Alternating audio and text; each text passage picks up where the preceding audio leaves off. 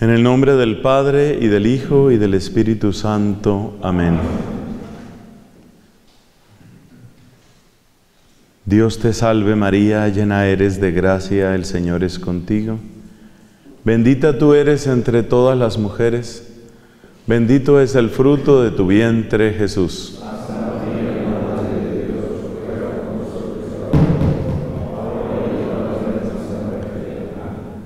Nombre del Padre, del Hijo, del Espíritu Santo. Amén. Los elogios a los sacerdotes. ¿Qué hace que nuestro pueblo quiera, agradezca la presencia del sacerdote? Pues hay distintos elogios. Uno es, es, es un hombre de Dios, se le ve, ahí entra la dimensión de oración. Otro es un buen predicador, se le entiende, el consejo que me dio me resultó útil, uno habla con él y siempre aprende algo, esos son elogios a los sacerdotes. En la antigüedad esa era una gran referencia. Cuando se hablaba de las autoridades civiles, militares y eclesiásticas en cada pueblo, el cura del pueblo solía ser la persona más instruida del pueblo yo creo que un poco esa tradición la hemos perdido, del sacerdote como la persona educada, cultivada, que es una referencia intelectual. Los antiguos curas y monseñores, no solo los obispos, claro, pero los antiguos curas y monseñores solían ser personas que eran una referencia intelectual. La gente iba a la casa del cura a hablar de muy diversos temas eh, temas de actualidad, cuestiones incluso científicas, literarias. Bueno, entonces lo segundo es una persona de la que se aprende, es una persona que tiene, es una referencia intelectual. Luego es un hombre bueno, es una persona caritativa, está comprometido, está al servicio de los necesitados, sabe ponerse del lado de los necesitados. Ese aspecto, por supuesto, también tenemos que relacionarlo con Cristo. Propio de nuestra vida es el seguimiento de Cristo y entonces nos preguntamos cómo vivir esa dimensión. Yo quiero hacer unas dos o tres aclaraciones previas sobre este tema del amor, porque sabemos que la palabra amor es de las más manoseadas, ¿no? De la, una palabra que muchas veces queda incluso, podríamos decir, profanada. Entonces, hay que hacer algunas anotaciones iniciales. Por ejemplo, es e, en la lengua hebrea las expresiones que se refieren al amor son bastante fuertes.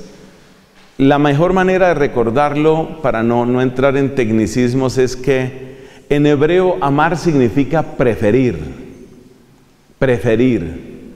Amar es preferir. Amar es dar el primer lugar a algo o a alguien. Por eso, cuando se habla de amor, siempre se habla de una elección que tiene consecuencias.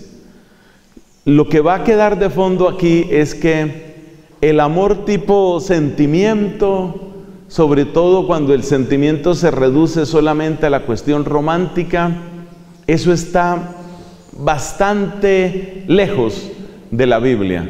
Por supuesto, la Biblia conoce el amor de deseo, el amor entre hombre y mujer, claro que lo conoce, pero hay que destacar que eh, en, en hebreo en general el amor significa elección, preferencia.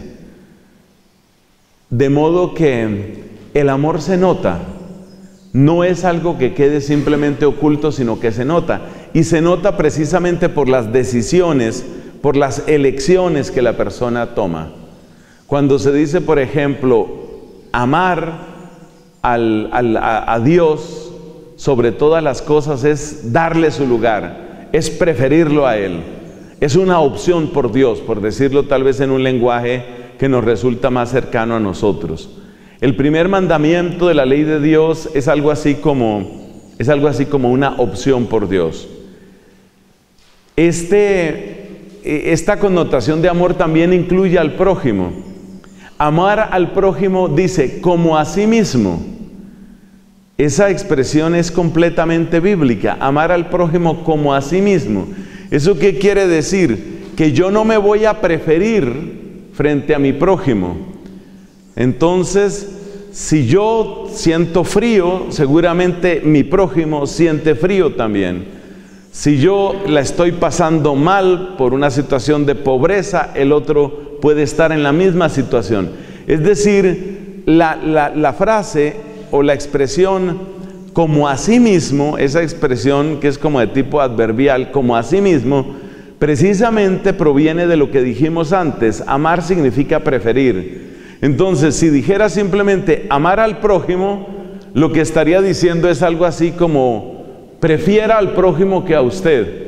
Pero por eso se pone la anotación, amar al prójimo como a sí mismo.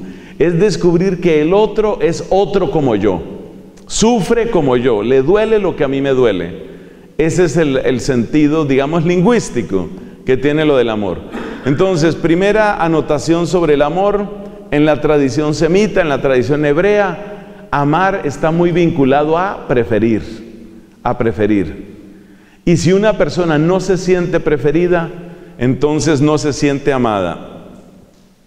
Hay una escena de mujeres, de discusión de mujeres, que se da entre las dos esposas, además eran hermanas, ¿no?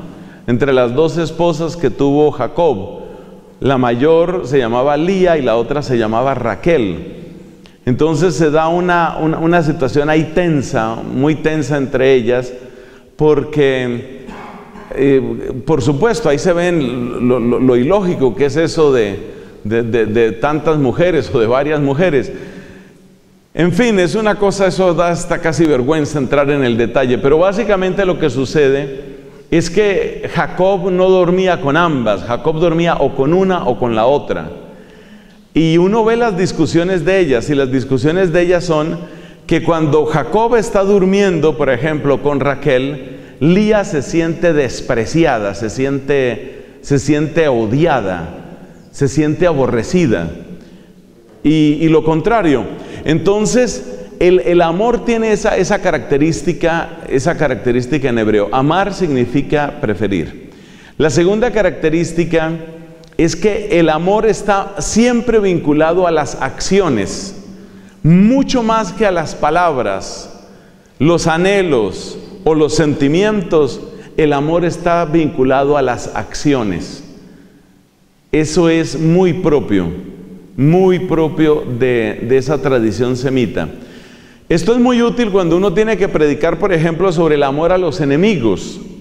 Fíjese que en nuestro uso actual de las palabras, cuando uno habla de amor a los enemigos, eso se vuelve como una cosa difícil de entender y difícil de manejar por donde la agarre. Porque como nosotros en nuestra cultura solemos asociar amor básicamente con un sentimiento, cuando usted le dice a una persona, ame a su enemigo, lo que la persona está entendiendo es, trate de sentir algo bonito por esa persona. Esa es la traducción mental que hace una persona de nuestro tiempo, cuando usted le dice amar al enemigo, lo que entiende la persona es trate de sentir algo bonito por esa persona. Y es muy difícil sentir algo bonito por la persona que me ha hecho daño. Entonces, si nosotros nos quedamos con la definición usual, la definición estándar de amor que, suele, que solemos manejar en nuestro ambiente, en nuestra cultura, cuando se dice amar al enemigo es una cosa que, no, que resulta absurda o que resulta imposible, porque es como le dije, amar significaría como sienta cosas lindas, sienta cosas agradables por su enemigo, eso no tiene sentido. En cambio, en esta tradición, en esta tradición semita, en esta tradición hebrea, el amor está ligado a las acciones. Se lo digo en una frase corta. Amar significa hacer algo por la persona amada. Hacer algo. El amor está ligado al hacer. Está ligado al mostrar. Está ligado al producir una realidad. Ese es, ese es el amor. Entonces ahí entiende uno que cuando le dicen ame a los enemigos, lo que está diciendo con ame a los enemigos es, ¿cuál es el bien que usted le puede hacer a esa persona? El sentimiento puede que cambie, pero en contra de lo que uno pensaría, uno piensa que siempre la acción va detrás del sentimiento. No, en la Biblia con mucha frecuencia el sentimiento va detrás de la acción. Es decir, usted busca el bien de esa persona y buscando el bien de esa persona, usted está amando a esa persona. Y mientras usted busca el bien de esa persona, es perfectamente posible que su sentimiento hacia esa persona cambie. Le voy a dar el, ejemplo bíblico típico, que es la parábola del buen samaritano. Precisamente Cristo estaba exponiendo el tema del amor al prójimo, amor al prójimo. Y entonces usted recuerda la escena, un escriba le pregunta, ¿y quién es mi prójimo? Cristo no le da una explicación teórica, le cuenta un relato, le presenta una parábola. ¿Y cuál es el relato que le pone Cristo? El relato que le pone Cristo es, un hombre bajaba de Jerusalén a Jericó. Si usted mira el mapa, usted se da cuenta que si sale de Jerusalén a Jericó, se estaba moviendo en territorios de Judea. Fue atracado, fue violentado, fue robado, lo dejaron medio muerto. ¿En dónde quedó? en territorio de Judea. ¿De dónde venía? De la capital de Judea. ¿Qué nos hace suponer eso? Que estamos hablando de un judío. El dato es importante, es un judío. Eso, eh, ahí es donde está la gran enseñanza. Pasó por el mismo camino un sacerdote, dio un rodeo y evitó al que estaba caído. Pasó un levita, dio un rodeo. Pasó un samaritano. El samaritano no solamente se está arriesgando porque se ve que es una zona peligrosa, por lo pronto atracan y matan, no solo se arriesga en ese sentido, sino que el samaritano está ayudando, socorriendo a quién? A un, a un judío. Entonces, ¿qué es amar al prójimo? Amar al prójimo no es, empecé, soy samaritano, pero empecé a tener un sentimiento positivo. ¿Sabe qué? Yo creo que ya me caen bien los judíos. No, la cosa va más allá. la realidad es, el samaritano amó al prójimo. ¿Por qué? Porque sintió algo, porque pensó algo, porque deseó algo. No, porque hizo algo hizo algo. Y ese hacer, esa realidad del hacer, es la que muestra el sentido del amor al prójimo. Entonces el gran punto en el amor al prójimo es, ¿cuál es el bien que se puede hacer? ¿Cuál es el bien que se puede hacer? Es ahí donde se descubre la verdadera dimensión del amor. En el capítulo décimo del libro de los Hechos de los Apóstoles encontramos a Pedro en la casa de un pagano pero simpatizante del judaísmo.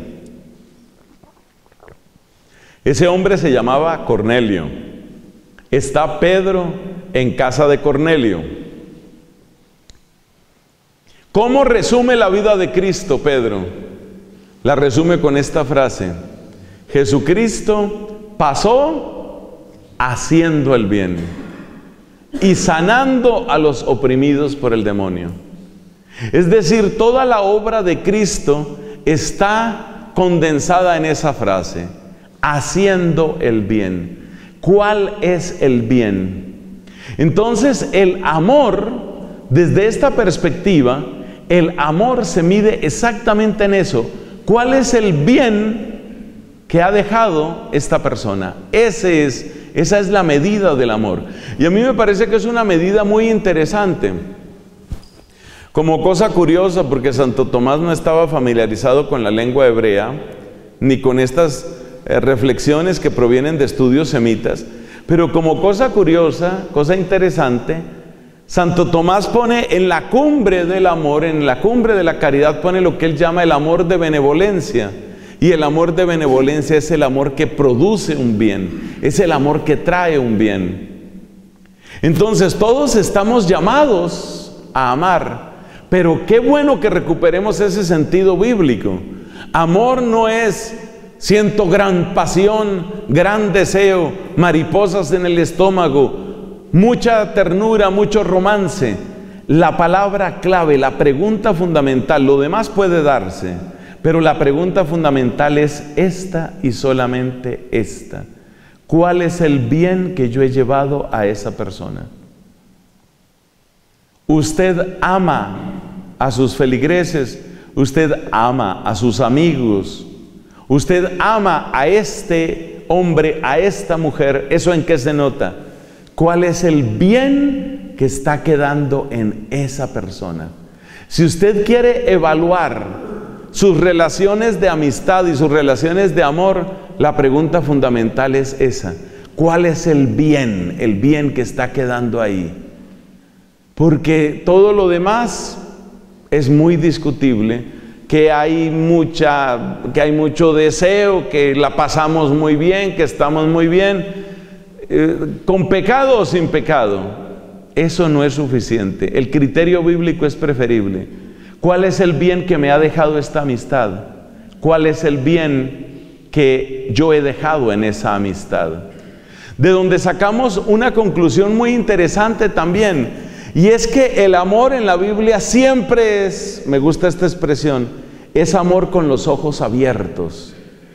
El amor degradado a la categoría de simple pasión, probablemente pasión impetuosa, irracional, incluso destructiva.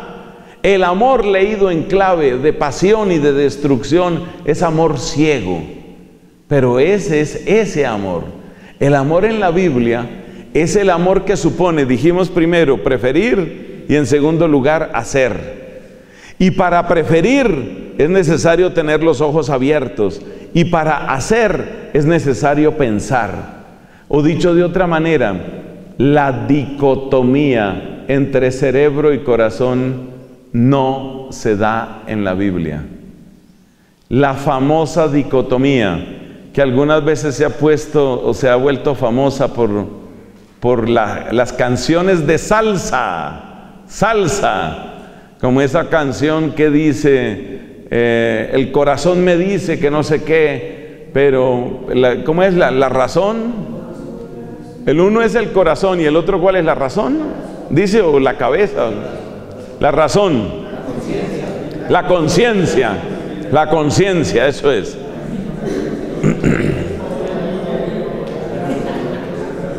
Esa canción, veo muchas sonrisas, eso me preocupa un poco. Entonces, el corazón me dice, la conciencia me dice, la conciencia me dice, el corazón me dice. Esas dicotomías no existen. La verdad es que en general, esto ya lo habrán escuchado ustedes otras veces, en general el pensamiento semita por donde se examina es muy unitario. La antropología semita es muy unitaria. Entonces, dicotomías como esa de que la conciencia me dice, pero el corazón me dice, pero la conciencia, pero el corazón, eso no aparece ahí.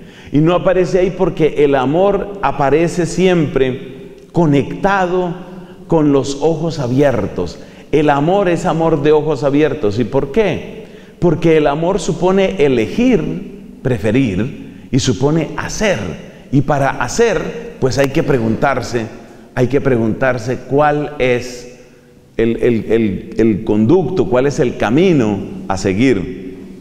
Entonces, con esta introducción asomémonos a la caridad de Cristo. La caridad de Cristo está resumida en esa frase, pasó haciendo el bien y curando a los oprimidos por el mal. La rectitud de Cristo es reconocida por sus propios adversarios. Este punto es muy interesante, porque es otra dimensión del amor. Como es un amor lúcido, como es un amor con los ojos abiertos, como es un amor que no se confunde con la pasión, entonces este, este es un amor virtuoso, es un amor compatible con la virtud. Y es interesante ver que los propios adversarios de Cristo reconocen la virtud de Cristo. Pilato le dice a la autoridad, les dice a las autoridades judías, yo no encuentro falta en él. Yo no encuentro falta en él. Algo parecido van a decir de un discípulo de Cristo, de San Pablo. Allá cuando estaba en esas en esas negociaciones con Festo y con Félix y con el rey Agripa y toda esta gente, cuando estaba en esas discusiones uno de estos personajes que son parte del gobierno romano, uno de esos, no recuerdo exactamente cuál en este momento, para qué voy a inventar, pero uno de ellos dice, hubiera podido quedar libre si no hubiera apelado al César, no tiene falta, eso dicen de San Pablo. Entonces viene otra característica del amor. El amor está unido a la rectitud de conciencia y a la rectitud moral. El amor que aparece en Cristo es un amor que es fruto de una rectitud. Y en ese sentido es un amor ético, es un amor que en cierto sentido hace norma. Pilato dice, no encuentro falta en él. Es interesante ver que sus mismos adversarios, por el lado del judaísmo, no encuentran faltas en Cristo. Acuérdate en la pasión de Cristo cómo dice que lo acusaban de muy diversas cosas. Incluso pagaron a algunos para que lo calumniaran y ni siquiera en esto se ponían de acuerdo. En una de las discusiones de Cristo dice el Señor, ¿y por cuál obra buena? Me van a apedrear. Cristo es consciente de su propia rectitud. ¿Por cuál obra me van a apedrear? Y ellos le responden, no te apedreamos, no te acusamos por ninguna obra buena, sino porque siendo hombre te haces igual a Dios. Según el Evangelio de Juan, la causa directa de la muerte de Jesucristo es que se considera que ha blasfemado por hacerse igual a Dios. Dicho sea entre paréntesis, esa afirmación es importante. Y es importante porque nos enseña que la causa de la muerte de Cristo no fue por su activismo social. Quizás eso ya no les tocó a ustedes, pero en mi época estábamos con la teología de la liberación. Eso no fue tan fácil, esa etapa no fue tan fácil, porque tenía uno que oír cada cosa. Y una de las cosas que se oía con mucha frecuencia es, Jesucristo murió por su activismo social, porque obró contra los poderosos, porque se opuso a los poderosos de su tiempo. Es verdad que Cristo se opone a los poderosos de su tiempo, pero lo más interesante es saber en qué se opone a los poderosos de su tiempo. Los más poderosos, no cabe duda, eran los saduceos. Y la oposición de Cristo a los saduceos no es, ustedes tienen plata, ustedes tienen muchas posesiones, ustedes le están quitando el dinero a los pobres. No es esa la oposición, aunque todo eso fuera cierto. La oposición de Cristo a los poderosos se resume en la expresión que ya comentamos en otra predicación. Y esa expresión es, ustedes no conocen el poder de Dios, ni conocen las escrituras. Ese es el tipo de oposición que Cristo tiene con los poderosos. Y el miedo de los poderosos es que se acabe el negocito que tenían ahí con el templo de Jerusalén, que no solo era económico, sino que era la base de toda la estabilidad política en aquella época. Entonces, hermanos, es importante saber que Cristo sí muere oponiéndose a los poderosos, pero la oposición de Cristo a los poderosos es básicamente en términos de la escritura y en términos de la verdad de la fe. Eso es realmente una exageración sin fundamento Decir que Cristo muere por una especie de activismo económico, social o político, eso no tiene base realmente en las escrituras. No significa que Cristo fuera indiferente a las injusticias de su tiempo, claro que no. Pero hay que decir las cosas como son. Entonces la rectitud, mire, si las autoridades judías hubieran tenido algo de qué acusarlo, lo hubieran hecho. Pero es que no encontraban de qué. También en el Evangelio de Juan está esta frase de Cristo que es muy impresionante. ¿Quién de ustedes me puede acusar de algo? ¿Quién de ustedes? El Cristo de San Juan, el Cristo que aparece en el Evangelio de Juan, es un Cristo perfectamente consciente de su rectitud moral. Es decir, que ellos reconocen la bondad de Cristo, ellos reconocen su intención recta, ellos reconocen su comportamiento. Si hubieran encontrado algo deshonesto, eso hubiera sido mucho más fácil para condenarlo, pero no encontraban, no encontraban. La caridad del Señor, entonces, ¿qué hemos dicho hasta ahora? Hemos dicho tres puntos. Que el amor está ligado a una elección, amar es preferir, que el amor está ligado a un hacer y que el amor está ligado a una rectitud moral, a una vida recta. Hablemos de cómo se muestra la caridad de Cristo. No cabe la menor duda, la caridad del Señor se muestra sobre todo con los necesitados.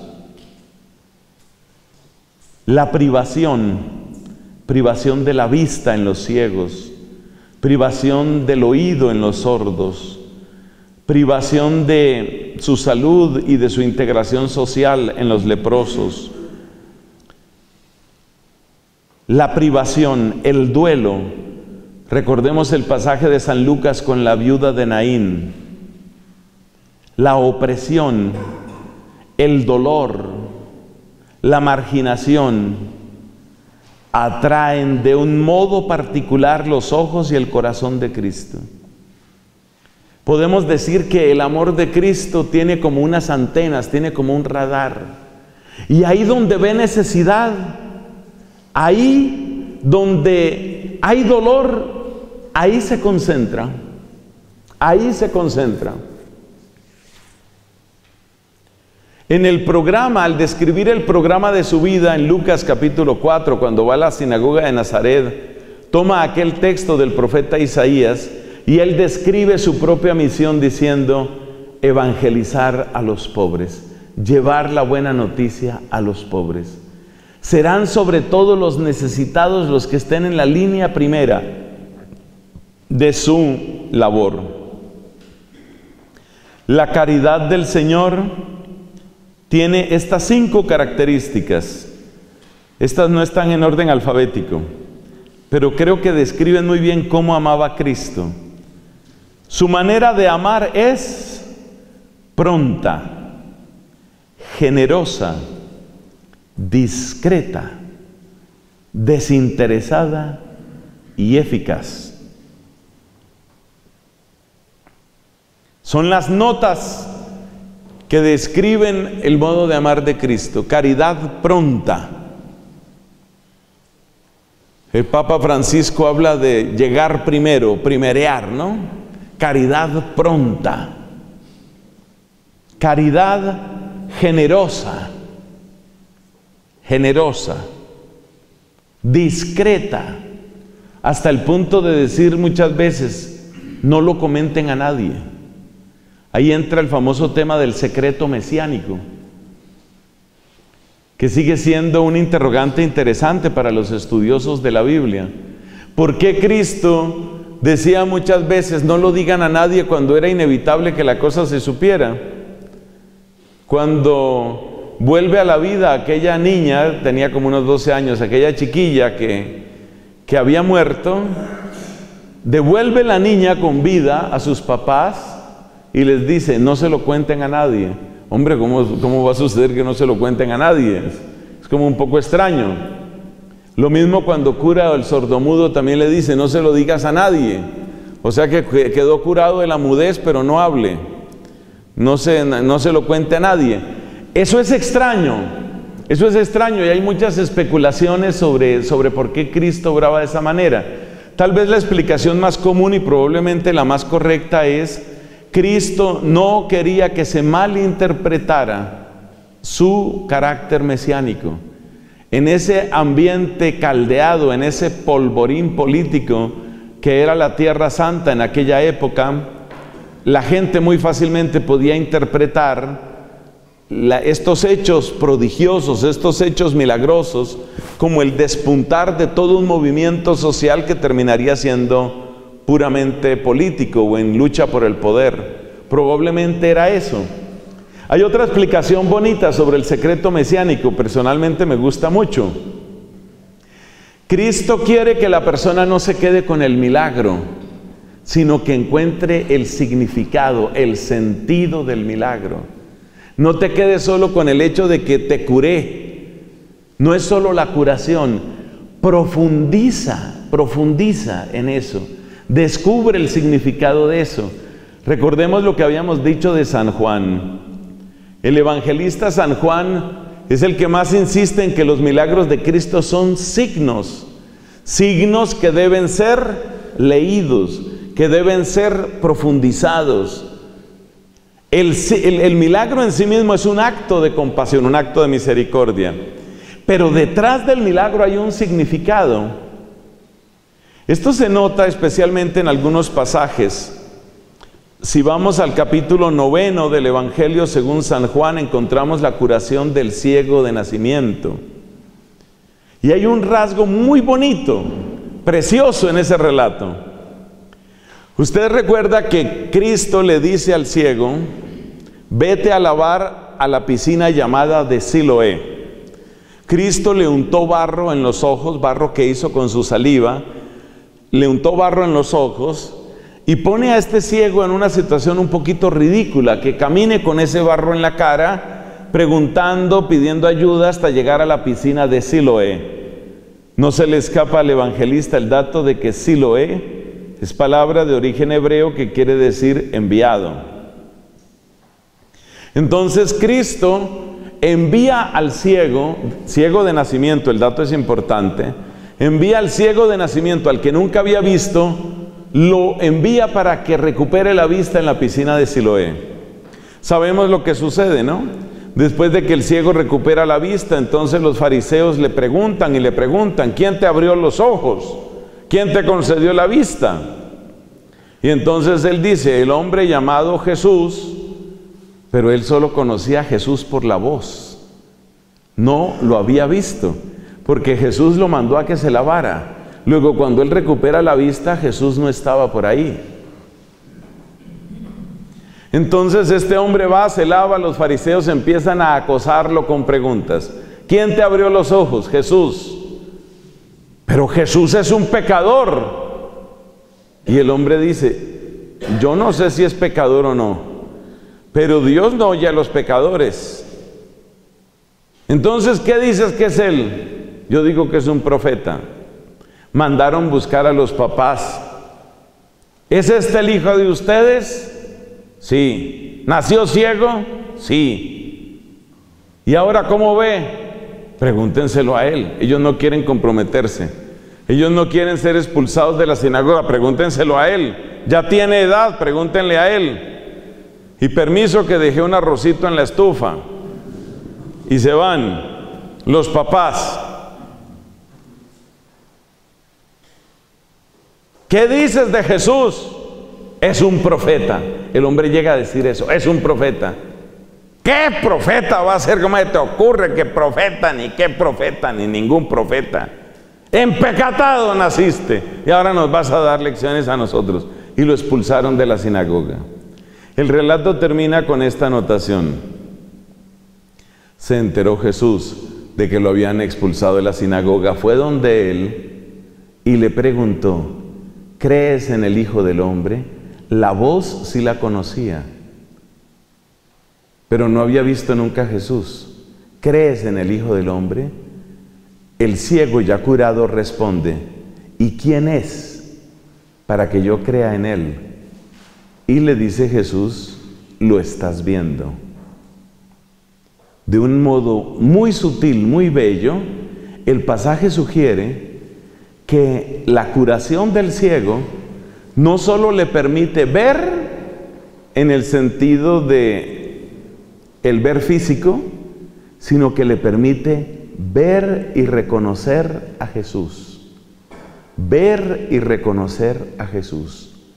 Como quien dice, el milagro no termina en que tú puedas ver los colores o las formas.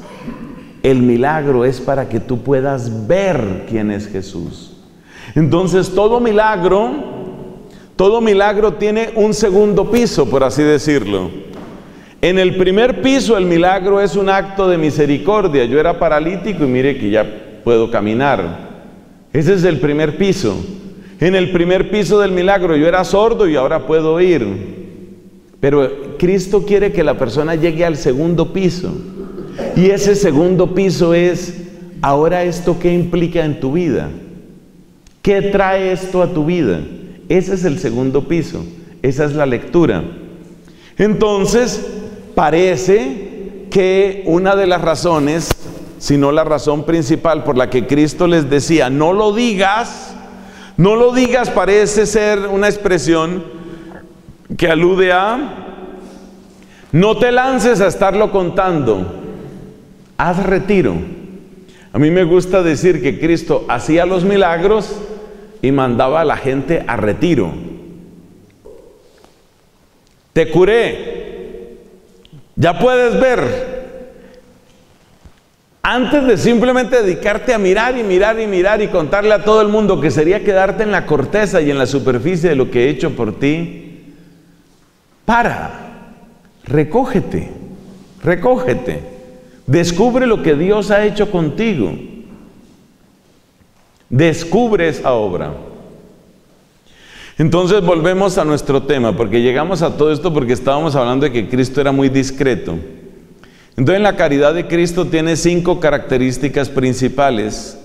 Es pronta, generosa, discreta, desinteresada y eficaz.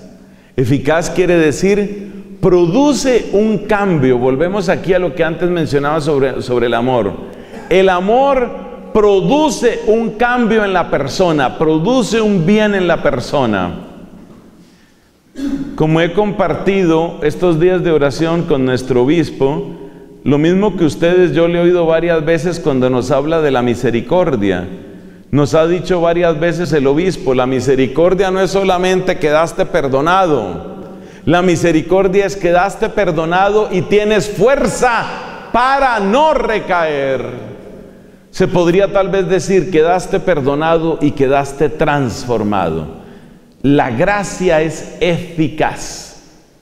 Eficaz. Esto hay que predicarlo mucho en el sacramento de la confesión.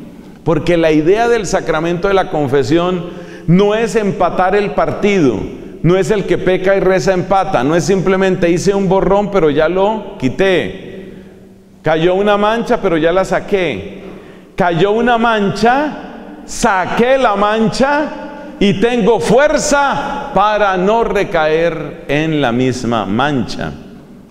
Dentro de las explicaciones bellas que se dan sobre el sacramento de la confesión, sobre la penitencia, el lugar de la penitencia, pastoralmente hablando, en el sacramento de la confesión, es necesario aclarar que la penitencia no completa el perdón. La penitencia no es para completar el perdón. La penitencia es aquel ejercicio de la voluntad ayudada por la gracia divina que fortalece a la persona para que no recaiga o para que repare aquel daño que ha cometido.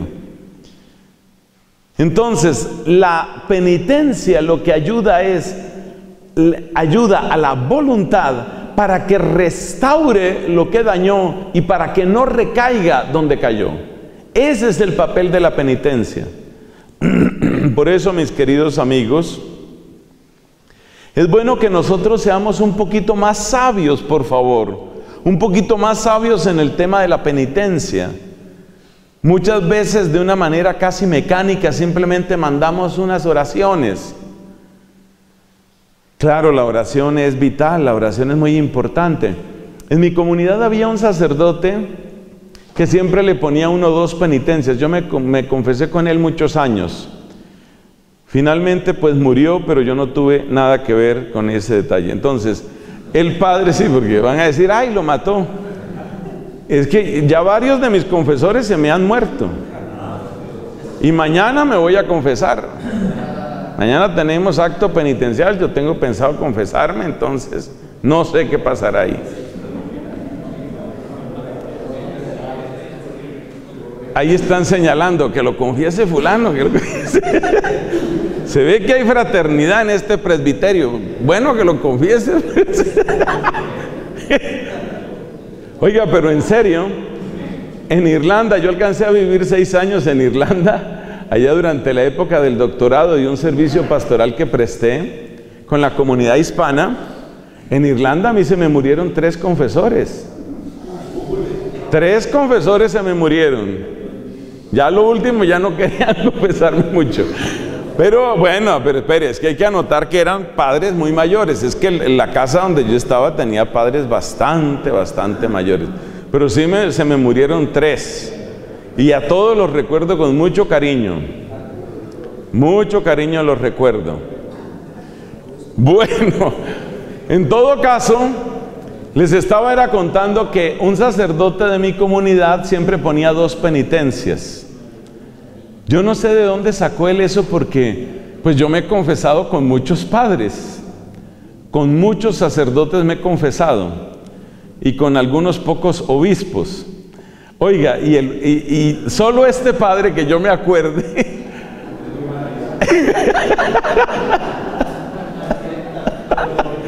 mañana podría ser cierto la confesión. Oiga, el padre este siempre ponía dos penitencias y siempre le decía a uno lo mismo.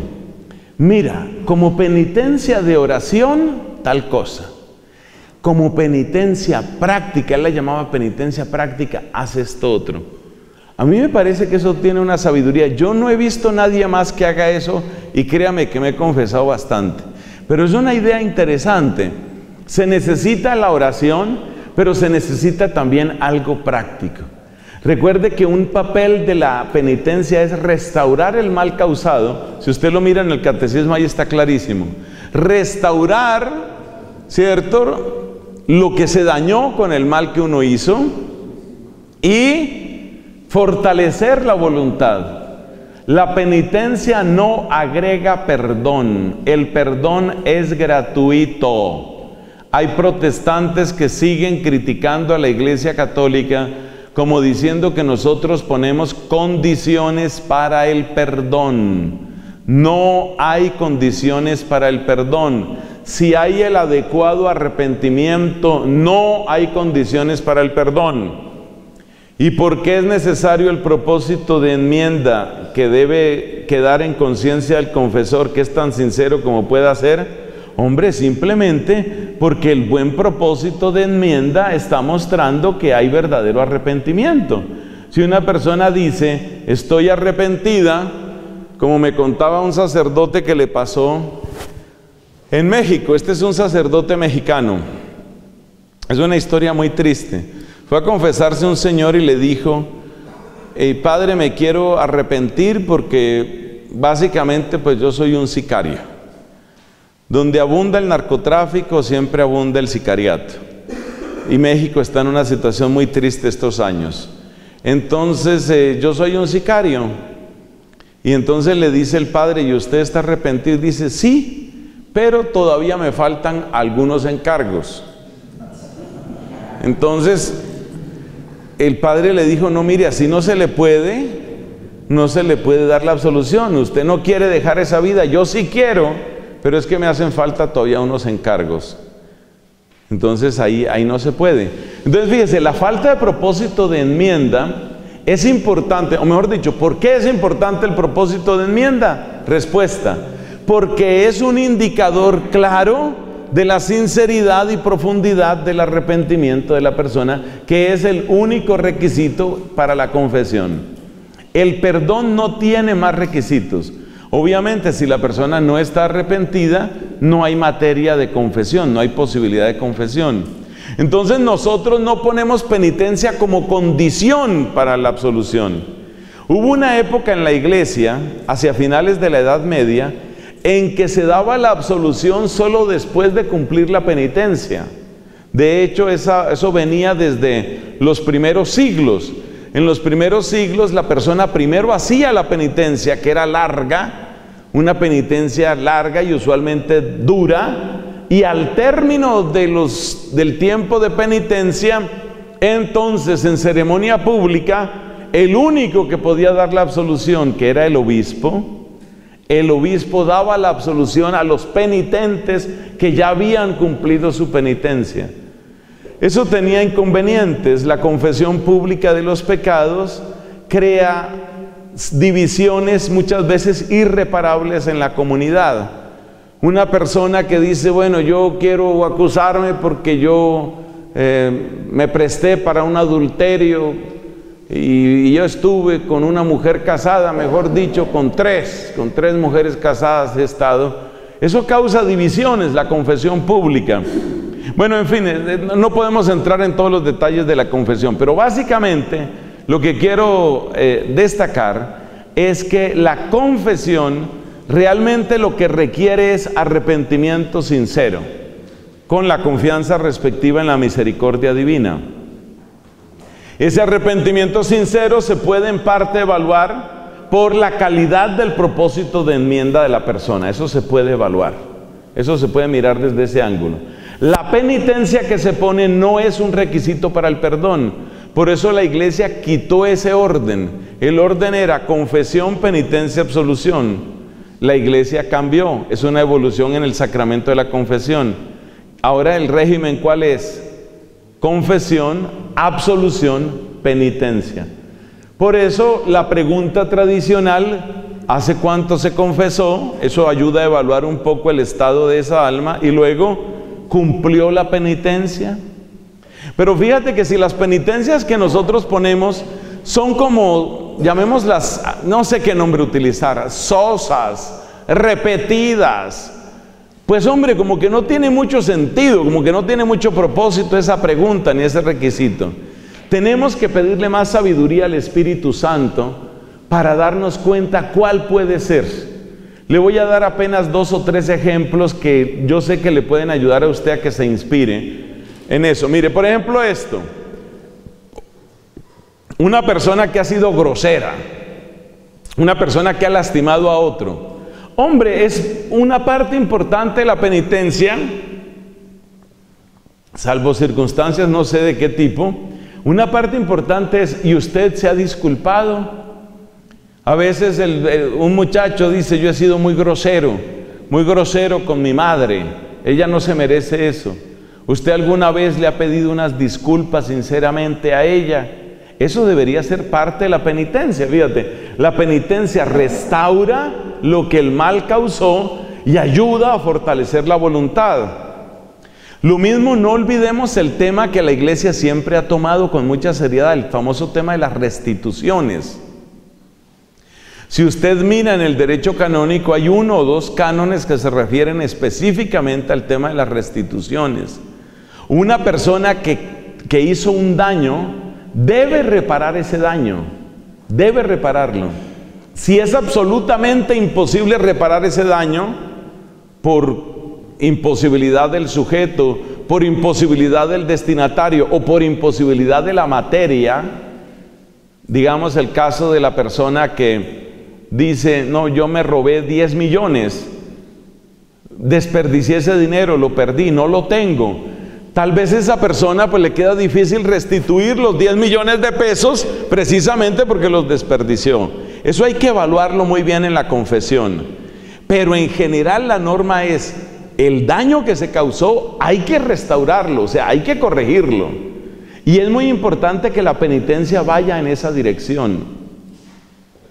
Otra penitencia, que es el tercer ejemplo que les prometí, otra penitencia que sirve mucho es acciones que sean durante algunos días.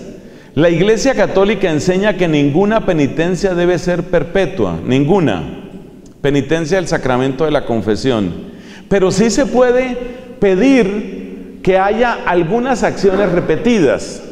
Por ejemplo, por ejemplo, yo eh, me acuso que yo he sido muy indiferente en materia de fe. Eh, por ejemplo, en el Adviento, en la Navidad, yo no fui a nada, yo me dediqué simplemente a pasarla bien, a disfrutar, a comer, a bailar. Entonces, por ejemplo, piense una penitencia que puede ser interesante para esa persona. Le pido como penitencia, usted va a hacer en esta próxima semana, haga unas cinco visitas al Santísimo sabiendo que eso es posible, que no es excesivamente oneroso para la persona. Mire, una penitencia de esas es útil, porque la persona en la perseverancia, en la repetición de actos, en esa repetición, pues tiene una semilla para crear un buen hábito y para restaurar el daño que causó a su propia alma con el descuido que tuvo en ese Adviento y Navidad. Bueno, ¿por qué hemos llegado a este tema de las penitencias? Porque estamos hablando de que el amor cristiano es amor eficaz. Y hay que pensar en que el amor produzca un resultado. No tengan miedo de pedirle a una persona que goza de abundancia económica, no tengan miedo de decirle, mire, de una limosna generosa. Solo que no pidan esa limosna para ustedes porque ahí ya se despierta la desconfianza. Pero una limosna generosa sí. Mire, como penitencia, usted es una persona, usted tiene mucho, usted ha recibido mucho. Usted puede dar una buena ayuda económica a un hogar de niños, a un orfanato, en fin, alguna obra en donde usted pueda realmente apoyar. Haga esa obra. Usted puede hacerla. Eso es crear la mentalidad de que el amor es eficaz. Con motivo del aborto, ustedes saben que muchas personas, aunque sean perdonadas y absueltas y hayan recibido indulgencia plenaria, tienen un trauma.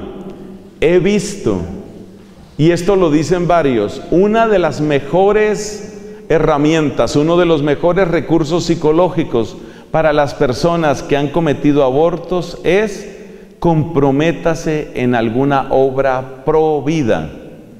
Así, por ejemplo, en Bogotá, no sé si en otras partes, hay una fundación que se llama Derecho a Nacer. Hay también gente que se compromete en algo hermosísimo que se llama 40 días por la vida. Son personas que se comprometen haciendo oración y ofreciendo consejería acerca de los abortuarios. Entonces, por ejemplo, una persona, estas son historias de la vida real, una muchacha que Padre, vengo a confesarme y, se pone a llorar, ya uno presiente un poco por dónde puede ir eso. Lo que sucede, Padre, es que hace 12 años yo me hice un aborto. Uno siempre le tiene que preguntar, ¿usted ya ha confesado eso? Sí. ¿Le dieron la absolución? Por supuesto, claro que sí. Pero usted ya sabe lo que le sucede. La persona no se puede perdonar ella. Es ahí donde ayuda que uno le diga, por ejemplo, mire, como hay arrepentimiento de un pecado realmente cometido, eso puede ser materia de confesión. Pero para que usted no sea esclava de estar repitiendo siempre en la confesión esto, por supuesto yo le voy a dar la absolución. Pero, como penitencia, vaya usted a una de las vigilias que organiza 40 días por la vida, dependiendo de lo que haya en cada lugar. Tal vez esa obra no es conocida aquí cerca o en Neiva o en algún lugar. En Bogotá en muchos sitios, en Bucaramanga, en Medellín existe 40 días por la vida, es algo muy bueno. Entonces uno le pone de penitencia, vaya a una de las vigilias de 40 días por la vida. Y yo siempre añado, y si le queda gustando, que ojalá le quede gustando, siga apoyando esa obra, es una obra muy buena, apóyela, pero ya no como penitencia, sino como cosa suya. Y uno le aclara a la persona, ya no como penitencia, porque es muy importante hacerle experimentar a las personas que no existen penitencias perpetuas, ninguna penitencia es perpetua. Porque si una penitencia fuera perpetua, de alguna manera la persona nunca podría terminar de sentirse realmente perdonada. Todo esto de dónde ha surgido, todas estas orientaciones pastorales de dónde surgen, amados sacerdotes, surgen de lo que estamos diciendo, del amor de Cristo. El amor de Cristo es pronto, generoso, discreto, desinteresado y eficaz. Esas son las características. La caridad de Cristo se extiende a menudo hacia los que son odiados o simplemente despreciados.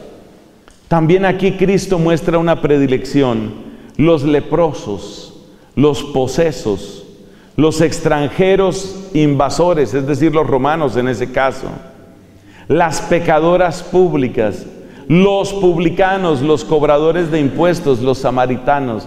Cristo reserva muchas de las expresiones más delicadas y más elocuentes de su caridad para ese tipo de personas.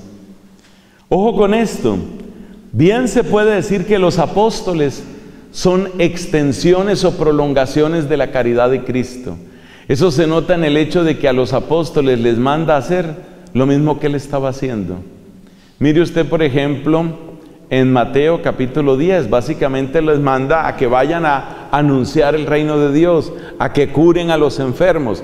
Es decir, los apóstoles son brazos extendidos, son más brazos para Cristo.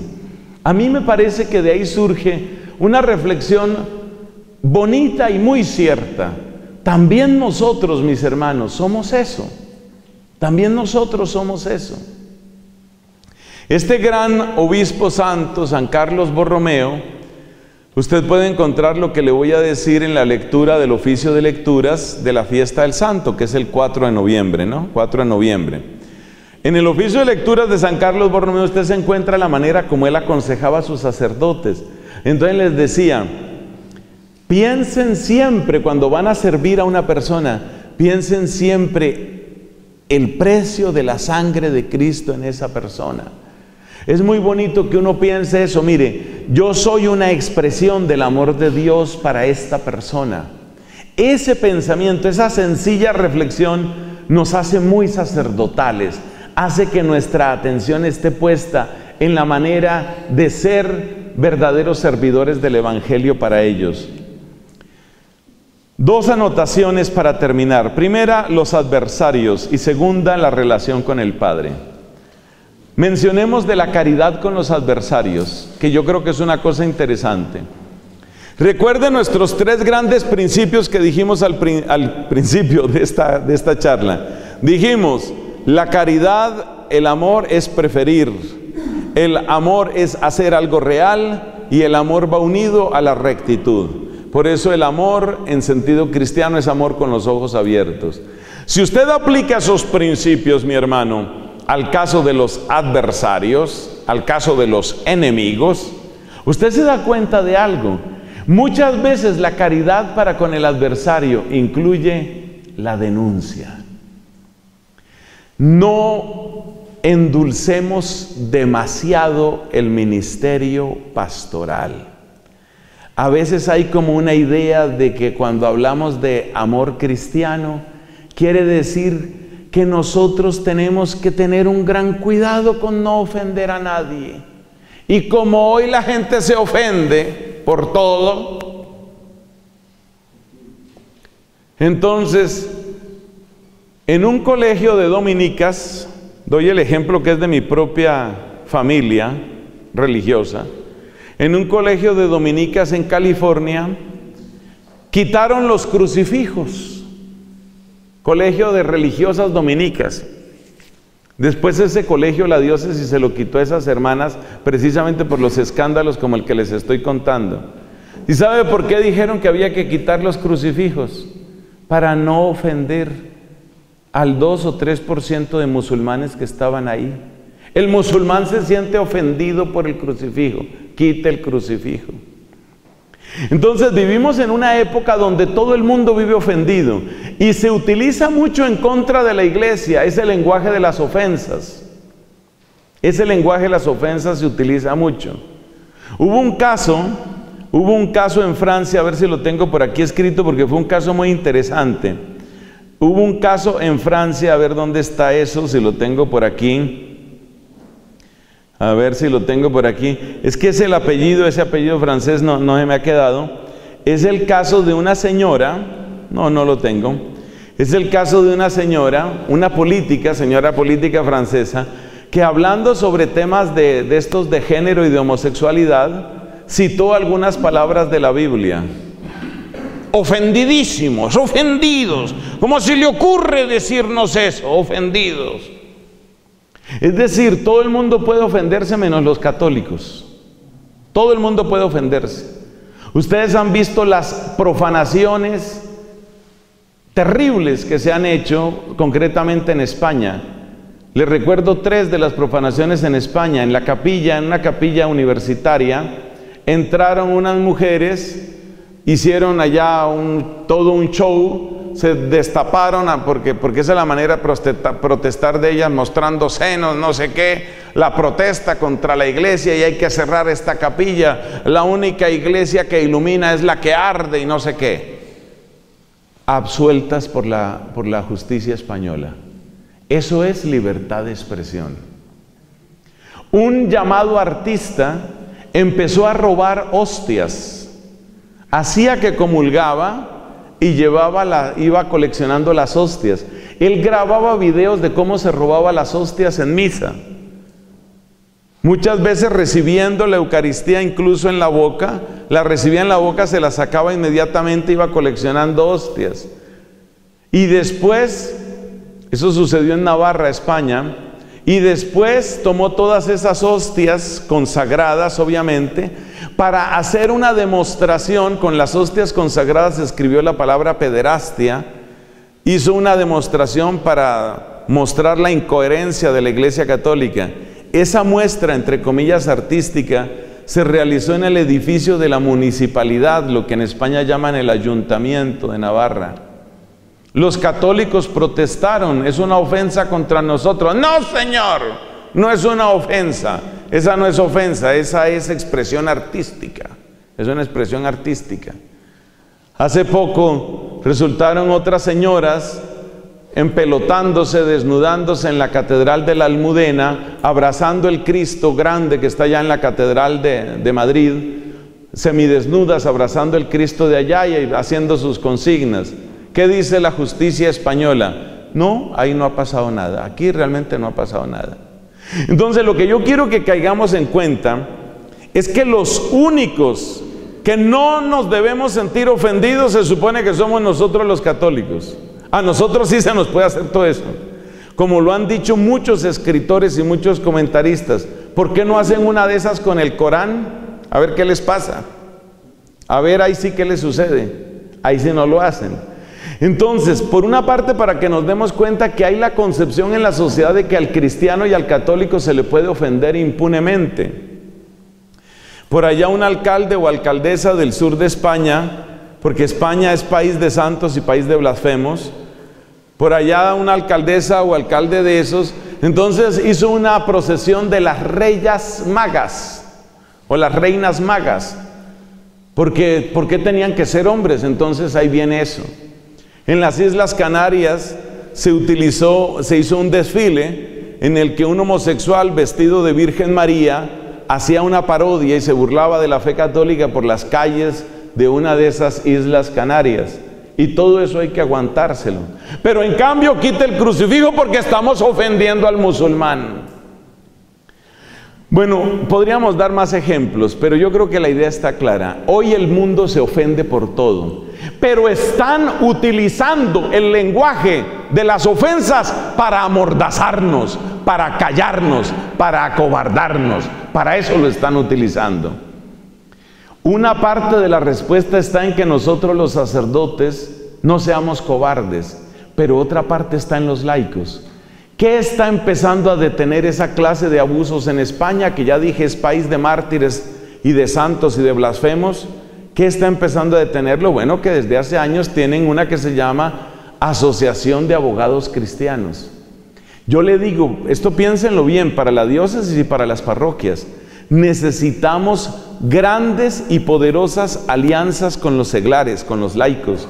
Necesitamos alianzas con los laicos porque los temas duros que vienen en el futuro no los vamos a poder resolver simplemente a nivel clerical. Por ejemplo, que no es un tema principal dentro de este retiro, toda esta cuestión de género. Los problemas de ideología de género, incluyendo las cartillas de perversión sexual, que varias veces han tratado de mandarlas y ponerlas como normativas en los colegios, eso no lo soluciona un cura solo, eso no lo soluciona un decreto del obispo. Se necesita tener a los profesores bien ganados de este lado Y se necesita tener poderosas asociaciones de padres de familia, porque a ellos sí terminan respetándoles sus opiniones. Esto, es como, una, como un paréntesis. Pero nuestro tema principal, ¿cuál era? Que uno no tiene que ser agresivo, pero uno tampoco puede caer en la trampa de que todo ofende. Uno no puede caer en la trampa de que todo ofende, porque con esa trampa nos tienen silenciados. Y hay países donde ya hay muchos temas que no se comentan, porque todo tema ofende. No caigan ustedes en el lazo tramposo de lo de las ofensas. Pero para eso necesitamos laicos católicos bien formados, muy formados. Diócesis que no tenga un buen equipo de abogados cristianos católicos dispuestos a defender con el régimen legal que nos toque, lo que haya que defender, esa diócesis va a tener serios problemas. Yo sé que ustedes, me consta, pues, por lo que he podido conocer en estos breves días, yo sé que ustedes han dado muchos pasos en muchos otros elementos de legislación, en temas laborales y contables y económicos. Dios los bendiga, eso está muy bueno. Pero no descuiden, se necesita tener equipos de abogados, no necesariamente todo pagado, pero sí tener muchos abogados unidos, cercanos, que quieran la iglesia, que les duela la iglesia, porque lo que viene en años próximos es bárbaro, es realmente bárbaro. Esta gente del nuevo orden mundial, ellos no se van a parar simplemente porque vean que es la entrada de la curia diocesana a ellos les importa muy poco esa terminología. Ustedes saben que hay dineros internacionales que están detrás de esto. Hay una fundación que se llama Arcus. Ahora dudo de si es Arcus o Arcos, es una de las dos, creo que es Arcus, porque eso viene, eh, eh, ellos todo lo publican es en inglés. Yo no podía creerlo. Usted, usted y yo siempre hemos oído teorías de conspiración, ¿no? Que quieren infiltrar gente en la iglesia y todas esas cosas. Pues tal cual me encontré la página ahí donde ellos dicen, hay que darle financiación a aquellos sacerdotes que introduzcan ideas de esta y de esta manera dentro del pensamiento cristiano. Entonces, ellos los llaman faith leaders. Los líderes de fe que ayuden a introducir esto, esos programas hay que apoyarlos con dinero. O sea que sí hay infiltraciones en la iglesia, sí hay infiltraciones. A veces en el clero, a veces en muy altas esferas. Eso se ha comentado muchas veces, que si existe, que si no existe el lobby gay. Mire, yo creo que el tema en este momento no es tanto de existencia, sino más bien de renovación, porque la existencia está demostrada a muchos niveles. Lo que se necesita es de la renovación dentro de la iglesia. Y ese tema empieza por cada uno de nosotros, porque la fuerza de esta corrupción en la iglesia se alimenta del silencio y la complicidad de nosotros. O sea que ahí tenemos mucha tarea que hacer.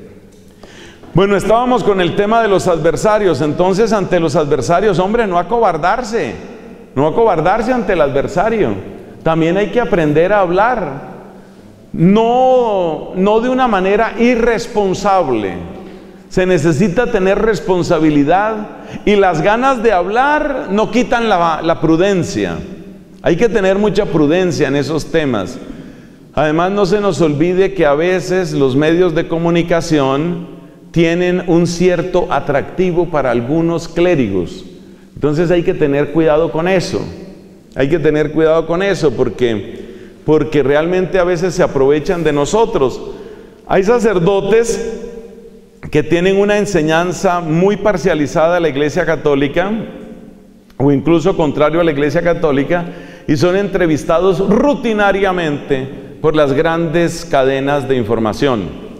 Eso sucede con alguna frecuencia. Entonces, nosotros, ¿qué criterios debemos tener como sacerdotes? No perseguimos a los medios de comunicación. Somos extremadamente prudentes en el uso de los medios de comunicación. Tampoco le tenemos miedo a los medios de comunicación y obramos siempre como iglesia en los medios de comunicación. Lo que quieren los periodistas ya se trate de periodismo escrito, radio, televisión, lo que les encanta a los periodistas es la controversia y la pelea. Eso les encanta. Un sacerdote controversial de la diócesis de Garzón nos trae nuevas declaraciones. Usted está diciendo, usted ha dicho, eh, por favor explíquele a la audiencia tal o cual cosa. Entonces, en ese momento, eh, eh, mucho cuidado, por favor, mucho cuidado con eso.